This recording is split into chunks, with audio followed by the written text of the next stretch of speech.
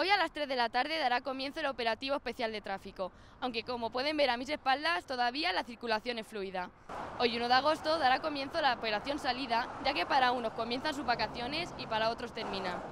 Las carreteras albaceteñas prevén unos 90.000 desplazamientos en los que los puntos de riesgo serán la AP36 y la A31 dirección La Roda. Castilla-La Mancha prevé unos 500.700 desplazamientos. Y recuerden, si van a conducir, pónganse el cinturón de seguridad, respeten los límites de velocidad y mucho ojo con el uso del móvil.